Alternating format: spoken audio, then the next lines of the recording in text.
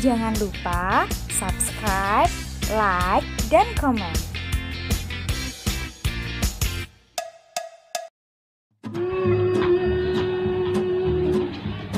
Sore-sore gini kok sepi ya? Padahal sepeda motornya guru-guru masih banyak. Kira-kira guru-guru pada ke mana ya teman-teman? Gimana kalau kita cari guru-guru siapa tahu ada guru di dalam situ? Kita lihat kegiatan sore hari apa yang dilakukan oleh guru-guru di dalam. Yuk ikuti Bu Ima ya teman-teman.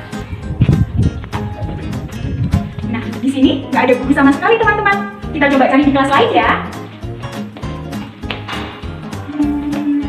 Nah, teman-teman, sepertinya di dalam situ ada guru karena di situ ada beberapa sandal punyanya guru-guru. Gimana kalau kita mencoba untuk masuk di situ dan kita cari tahu kegiatan sore hari apa yang dilakukan?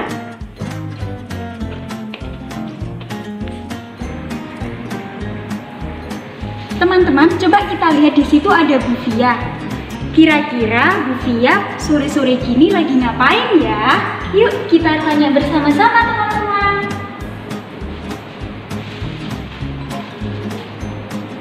Krayon dan pensil warnaku di mana ya? Mana ya? Kok tidak ada? Bu Via lagi ngapain sore-sore gini? Kok sepertinya lagi bingung cari sesuatu ya? Iya Bu Ima, aku lagi cari krayon dan cat airku di mana ya Bu Ima kira-kira?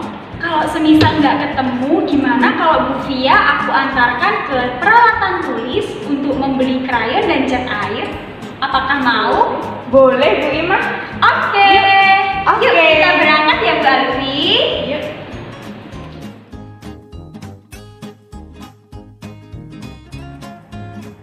Nah, teman-teman, ketika Bu Ima dan Bu Alfi sudah sampai di toko peralatan tulis, Bu Ima mengajak Bu Alfi untuk belajar membandingkan jumlah benda yang ada di toko peralatan tulis. Sebelum belajar membandingkan benda, ada beberapa hal yang harus kalian ketahui. Yang pertama, ketika membandingkan jumlah benda, kita menggunakan tiga pernyataan atau tiga istilah. Yang pertama, menggunakan istilah sama banyak atau sama dengan. Dan yang kedua, lebih banyak atau lebih dari. Dan yang ketiga, lebih sedikit atau kurang dari. Jika istilah sama banyak atau sama dengan, artinya jumlah benda yang pertama sama banyaknya dengan jumlah benda yang kedua. Maka kita menggunakan istilah sama banyak atau sama dengan. Nah, jika kita akan menggunakan istilah lebih banyak atau lebih dari, artinya jumlah benda yang pertama lebih banyak dari jumlah benda yang kedua. Dan jika kita akan menggunakan istilah lebih sedikit atau kurang dari, maka jumlah benda yang pertama itu lebih sedikit dari jumlah benda yang kedua. Nah, itu adalah informasi yang harus kalian ketahui sebelum kalian belajar membandingkan benda.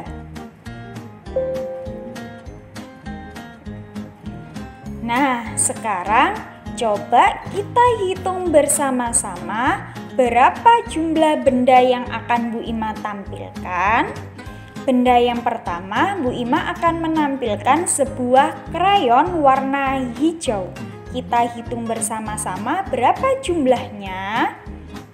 Satu, dua, tiga, empat, lima, enam, tujuh, delapan, sembilan, sepuluh, sebelas, dua belas.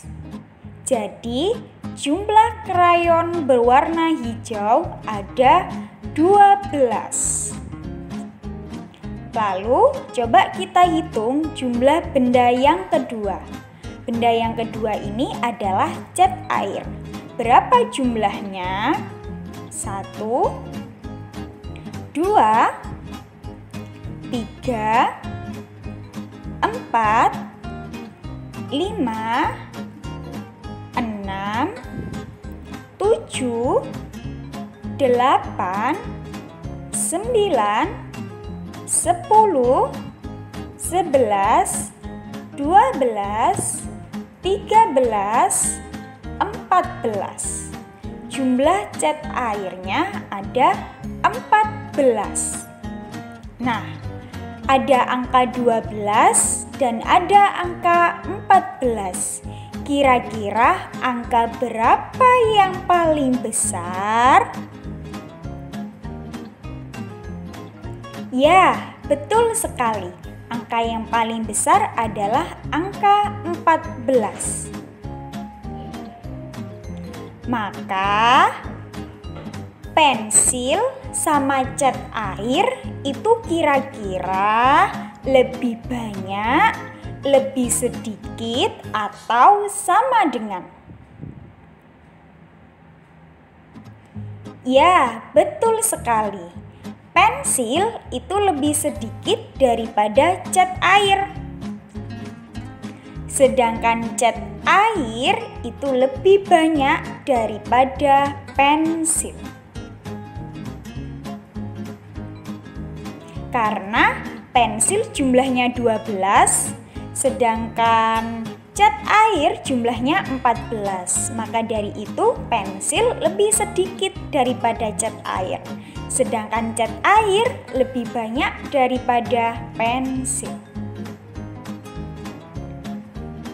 Kira-kira angka 12 dan angka 14 itu pernyataan yang tepat menggunakan pernyataan lebih dari, kurang dari, atau sama dengan ya teman-teman?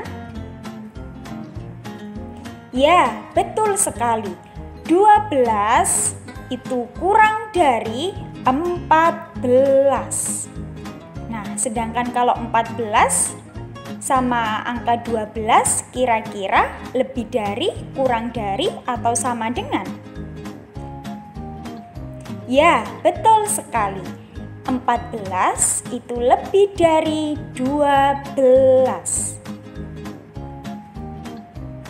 Sekarang coba kita belajar kembali membandingkan benda di gambar yang berikutnya. Di sini Bu Ima akan mengajak kalian untuk menghitung benda rautan pensil. Kira-kira berapa jumlahnya?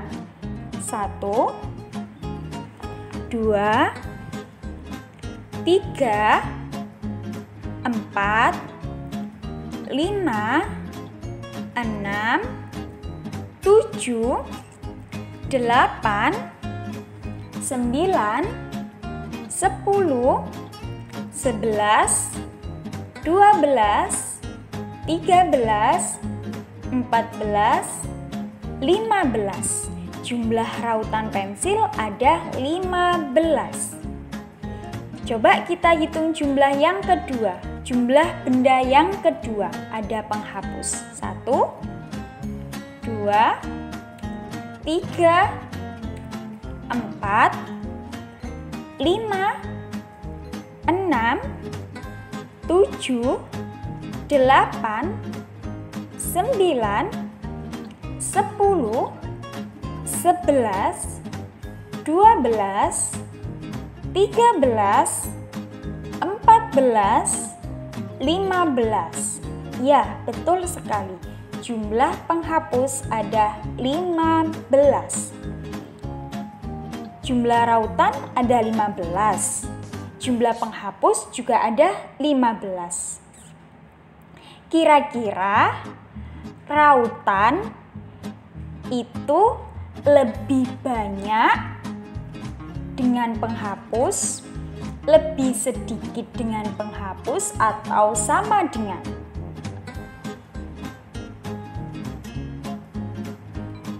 Ya, betul sekali. Rautan itu sama banyak dengan penghapus karena dia memiliki jumlah yang sama, yaitu 15. Dan penghapus juga sama banyak dengan rautan karena penghapus juga sama-sama mempunyai jumlah 15 dengan rautan. Dan 15 kira-kira itu lebih dari, kurang dari, atau sama dengan? Ya, betul sekali. 15 adalah sama dengan 15 karena mempunyai angka yang sama.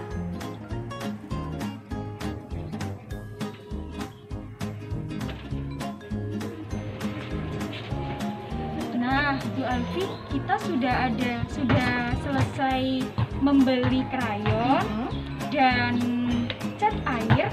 Gimana kalau sore-sore gini kita pergi ke taman Boleh Bu Ima? sambil kita lihat kira-kira aktivitas apa ya yang sedang dilakukan di taman? Iya, iya, boleh Bu Ima. Oke, let's go. Oke. Nah, sekarang Bu Imam sudah sampai di taman. Kira-kira di taman ada benda apa yang akan kita hitung untuk belajar membandingkan benda? Nah, coba lihat benda apa yang akan Bu Ima tampilkan yang ada di taman. Sekarang, coba kita menghitung kembali belajar membandingkan banyak benda. Ada benda bola, kita hitung satu, dua, tiga, empat, lima, enam, tujuh, delapan, sembilan, sepuluh, sebelas, dua belas, tiga belas. Jumlah bola ada 13. Benda yang berikutnya yaitu layang-layang. Kita hitung berapa banyak layang-layang. Satu, dua, tiga, empat, lima, enam, tujuh, delapan, sembilan, sepuluh, sebelas. Jumlah layang-layang ada 11. Nah, bola jumlahnya ada 13. Layang-layang jumlahnya ada 11. Kira-kira bola itu lebih banyak daripada layang-layang atau lebih sedikit daripada layang-layang atau sama dengan Coba kalian lihat, bola itu lebih banyak atau lebih sedikit daripada layang-layang. Ya, betul sekali. Bola lebih banyak daripada layang-layang karena jumlah bolanya ada 13. Sedangkan layang-layangnya jumlahnya hanya ada 11. Sekarang jumlah layang-layang itu lebih sedikit, lebih banyak, atau sama dengan daripada bola? Ya, betul sekali. Layang-layang itu lebih sedikit daripada bola. Karena layang-layang jumlahnya hanya ada 11. Maka lebih sedikit. Sedangkan bola jumlahnya ada 13. Sehingga lebih banyak kan bola. 13 dan angka 11 itu kira-kira angka 13 itu lebih dari 11 atau kurang dari 11 atau sama dengan 11. Ya, betul sekali. 13 itu adalah lebih dari 11. Sedangkan 11 itu kira-kira lebih dari 13 atau kurang dari 13 atau sama banyak. Betul sekali, 11 itu kurang dari 13. Nah, kita sudah menghitung dengan membandingkan benda. Sekarang kita coba manakah yang lebih banyak kita beri tanda centang. Ada bilangan 11 dan 14. Kira-kira bilangan manakah yang lebih banyak? 11 atau 14? Ya, betul sekali. Bilangan yang lebih banyak adalah 14. Lalu, kalau bilangan 15 dengan bilangan 13, kira-kira bilangan berapa yang lebih banyak? 15 atau 13? Ya, betul sekali. Bilangan yang lebih banyak adalah 15. Berikutnya ada angka ada bilangan 12 dan 15. Kira-kira bilangan 12 atau 15 yang lebih banyak? Betul sekali, yang lebih banyak adalah bilangan 15. Sekarang kita coba memilih bilangan manakah yang lebih sedikit, kita beri tanda centang. Ada bilangan 17 dan 20.